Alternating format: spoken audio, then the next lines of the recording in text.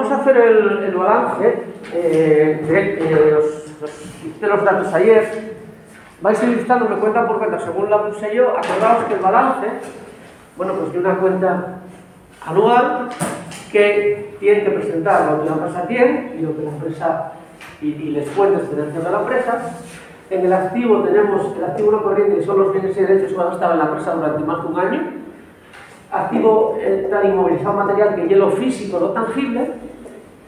El financiero, pues lleva inversiones, inversiones de la empresa a largo plazo. Y el inmaterial está relacionado con la gestión del conocimiento. Luego tenemos en el activo corriente, que son los bienes y derechos que van a estar menos de un año en la empresa, o sea que se van a transformar y se van a vender.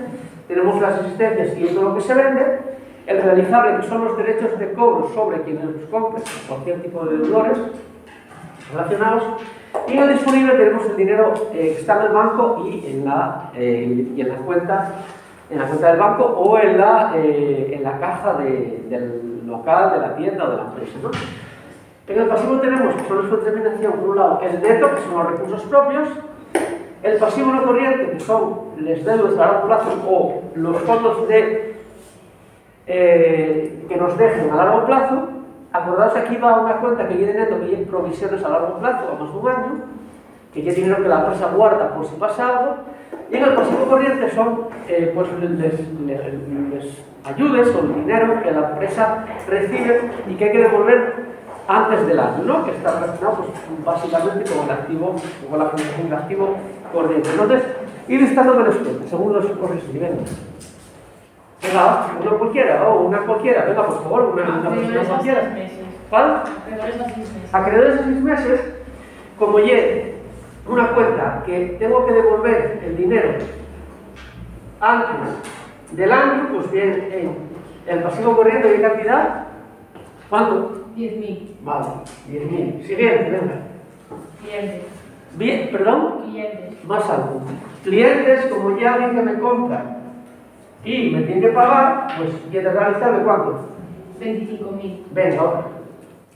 Acciones. Acciones y evidentemente la que aparece aquí en inmovilizado financiero, ¿cuánto? 35.000. 35.000. Siguiente, venga. Y reservas. Reservas, bien, de, dinero que la empresa detrae de los beneficios, puede ser legal, estatutaria o voluntaria, pero que como te reservas solo, reservas cuánto? 8.000. Venga. Otra. Resultados del año anterior. Resultado anterior que de neto, que el beneficio o la pérdida del año anterior, y cuando sale en este caso había sido negativo, ¿no? Sí, menos 5.000. Menos 5.000.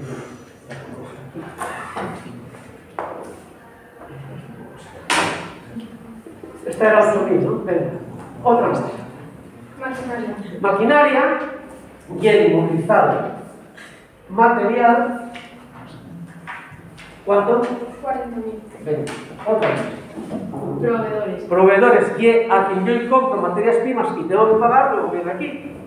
En exigible a corto plazo o pasivo corriente. ¿Cuánto? 3.500. Venga. Más. Patente. Patente está relacionado con la gestión del conocimiento. Inmovilizado. Inmaterial. ¿Cuánto? 12.000. Venga. Otro. Banco. Banco. Disponible. ¿Cuánto? 10.000. Otra más. Venga. Provisiones a 3 años. provisiones y una que os decía yo que llene neto, pero que la legislación dice que tiene que estar eh, según su naturaleza, como hay más de un año, provisiones a cuánto me dijiste? 25.000. ¿Pero cuánto? ¿A cuántos A 3 años? años. ¿Tres años? 25.000. Venga, más. Elementos de transporte. Elementos de transporte físico a largo plazo, o sea, a más de un año, aquí. Que son los vehículos. Acordaos que, ¿cuánto? 25. 30.000. 30.000. Que aquí no se puede contabilizar los coches de la familia, ¿vale? Eso ya delito. Otra más, venga. Créditos 3 meses. ¿Cuánto? Créditos a tres meses y algo que tengo que devolver antes del año. Luego bien, es exigible a corto plazo. ¿Cuánto? 10.000. Venga, sigue. Caja. Caja disponible. ¿Cuánto? ¿Cuánto? Tres. Sí. Venga. Más. Beneficios comerciales a cobrar. No, beneficios no. Efectos comerciales a cobrar. Efectos a cobrar. Son efectos comerciales a cobrar. Como llego, me tienen que pagar. 5.000. Pues, acá no lleve beneficios, ¿eh? Efectos comerciales. Otra, venga. Efectos comerciales a pagar. Aquí, como tengo que pagar bien aquí, ¿cuánto? 2.500. Porque ya relacionado con la compra, con la compra de materias primas, como- ya por plazo aquí. Otra, venga. Préstamo 6 años. préstamo y un dinero que me dejen y que tengo que devolver, y como ya más de un año, seis años, ¿cuánto? 15.000. Venga. Otra. Edificios. Edificios físicos. ¿Cuánto? 100.000. Más. Provisiones a seis meses. Provisiones de seis meses. Y una cuenta que ya de neto, pero va fuera del neto y como ya es a meses un año, a provisiones. A seis meses. ¿Cuánto dijiste? 10.000. 10.000. Venga. Otra. A, A y M. A, A y M, y prestado material. Vamos a dejar aquí abajo porque ya digo que. Bien, en el activo y bien restando, pues que hay una cuenta que nace de los beneficios de la empresa, que en teoría ya de neto, pero bien aquí, bien restando. ¿Cuánto ya? 30.000. 30.000. Vamos a poner aquí abajo del todo porque, bueno, para no meter por el medio. Venga, Equipos informáticos. equipos informáticos activos. 15.000. Y había otra por ahí, ¿no? De equipos informáticos, ¿no? Acordaos que si hay dos veces equipos informáticos, sumamos los dos. ¿Cuánto era? ¿15 y cuánto? 2.000. 15 y 2.000, 17.000. Sí. Bueno, sí. Venga, más. Créditos a 10 años. Créditos a día de 30 años, y el dinero que tengo que devolver, como ya más de un año, ven aquí. ¿Cuánto? 50.000. Venga. Más. Material de oficina. Material de oficina, físico. ¿Cuánto? 7.000. Venga, más. Propiedad industrial. Propiedad industrial, gestión del conocimiento, como patente y como propiedad intelectual. ¿Cuánto? 6.000. Venga, más. Existencias. Existencias, de existencias, de mercancías. ¿Cuánto? 7.000.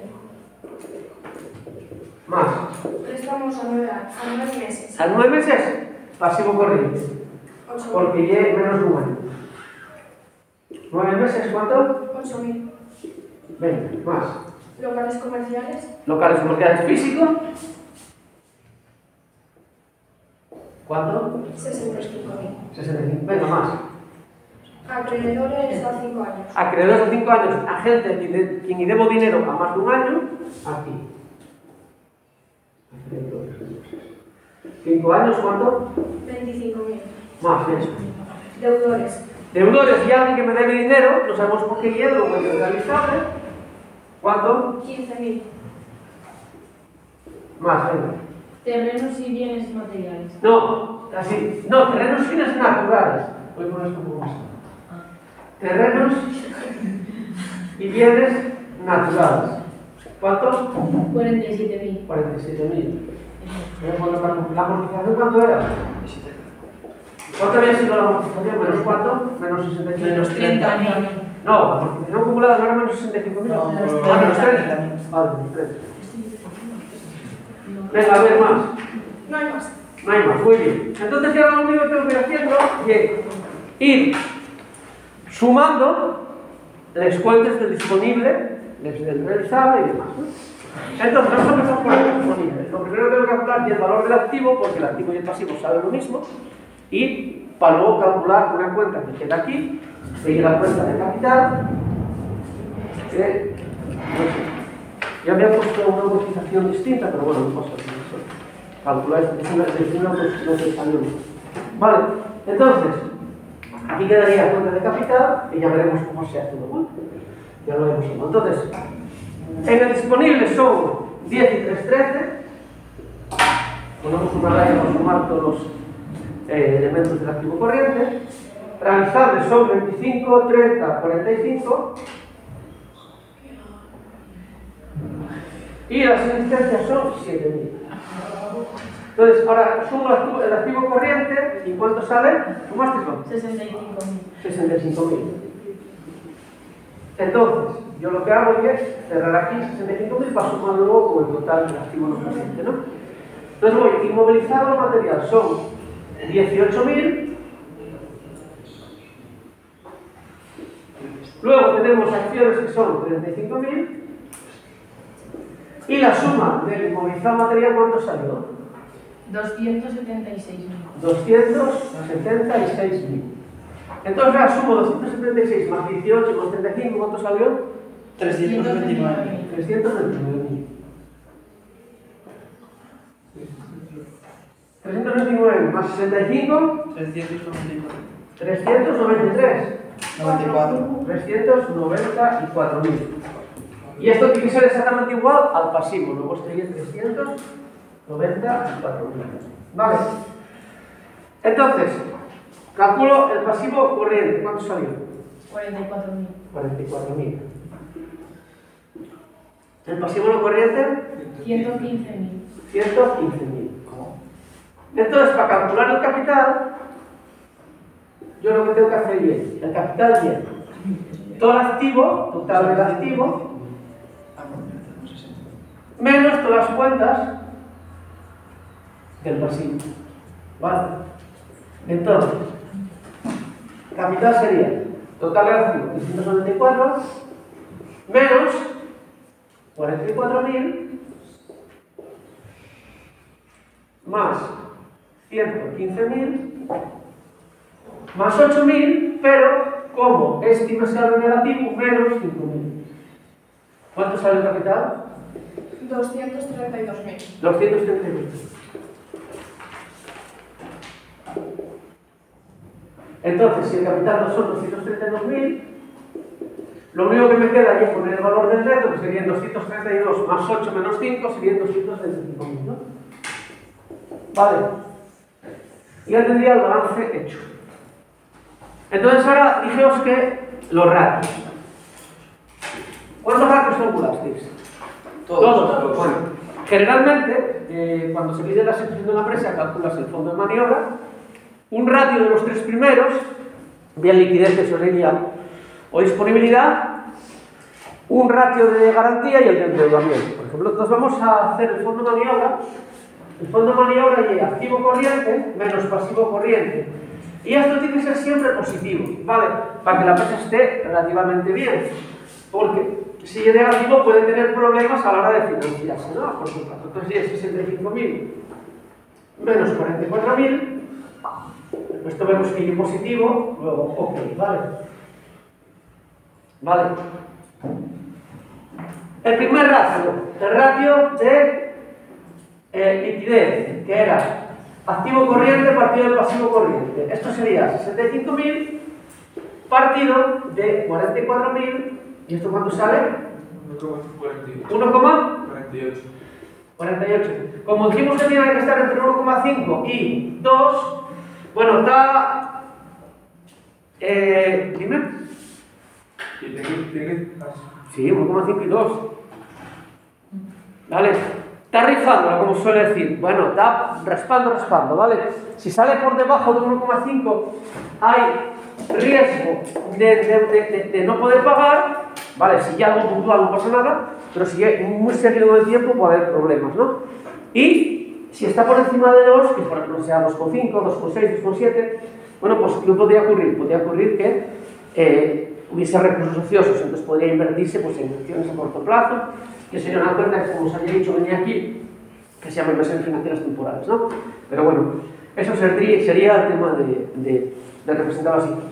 El segundo y el ratio de tesorería que al activo corriente quitamos si les existencia sería disponible más realizable partido pasivo corriente, lo sería 15 más 13, eh, 58, 58.000, no sé. Partido de 44.000, ¿cuánto sale? ¿Cuánto salió? Mm, 1,32. Aquí, ¿qué, qué ocurre? ¿Eh? Da por encima recursos ociosos. Eso, a ver, cuando se inventa un balance, puede ocurrir, ¿no? Que un ratio salga por encima y otro por debajo. también ocurre en alguna empresa normal. ¿Por qué nos, qué nos dice? Bueno, que la diferencia se das cuenta que viene de las existencias, ¿no? Entonces, eh, vemos que tiene mucho dinero realizable y disponible respecto a lo que tiene de existencias, ¿no? Ya os digo que esto puede ocurrir en, en así, en balances inventados. Eh, en la empresa también puede ocurrir puntualmente. El de disponibilidad, que sería el disponible partido del pasivo corriente, que su disponible son 13.000, partido de 44.000. ¿Cuánto salió esto? Calculaste isto? 0,21. 0,21. 0,21. Vale. Pues, e é o que os digo, non? Entón, as titantes 0,2 e 0,3 diría que está ben, ¿no? ¿Dónde estaría posible volver? Bueno, pues, en alguna destes, pero tampouco vamos a, a volver en... Dime, dudes. Que estabas dicindo?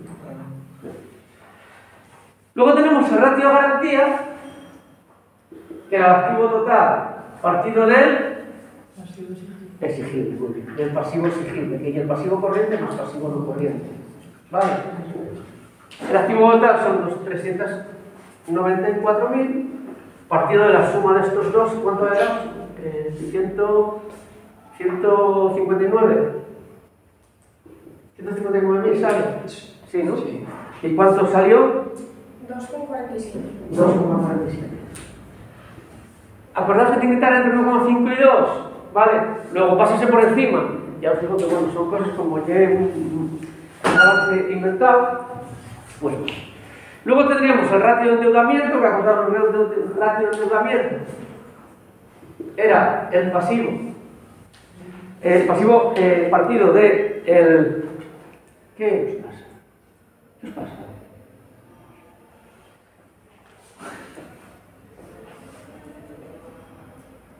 ¿Tenéis lo calculado esto? Sí. Partido de qué? El pasivo exigible, que viene el de, el de antes. ¿Cuánto salió esto? ¿Cuánto salió? ¿Hiciste? 0,11. Pero como lo mismo, ¿no? Datos así eh, un poco raros. Y el último que que el sería el, el de calidad de la, de la deuda, ratio de calidad de la deuda, que yo no lo tengo calculado, tengo los porque había, ya había puesto aquí 65.000 en vez de 30.000, entonces tengo los más. Sería el pasivo corriente partido del total del pasivo. ¿Y cuánto salió este? 0,27. 0, 27. Nada, este lo que nos dice la, la diferencia que hay, o sea, o cómo se financia la, la, la relación que hay entre la financiación entre lo que serían los fondos propios y fondos ajenos. Acordad que tenía que estar entre 2,5, entre 2 y, no- y, perdón, entre 0,2 y 0,5, luego la cosa supuestamente estaría ¿no? Esto que nos dice que la empresa que está bastante bien, que no tiene ninguna situación peligrosa. Cuando se nos manda a hacer un- una visualización de la empresa, generalmente lo que se, lo que se calcula y el fondo de maniobra, uno de estos tres, vale, podemos utilizar cualquiera de ellos, pues por ejemplo este o este, que son los dos extremos, y luego podemos calcular bien eh, uno el ratio ESPI, calidad de la deuda o ratio de cualquiera de ellos. ¿no? Generalmente con utilizar tres estaría bien. Pues uno podemos utilizar fondo maniobra, uno de estos y luego elegimos uno calidad de la deuda o exigibilidad o cualquiera de ellos. ¿Vale? ¿Alguna duda?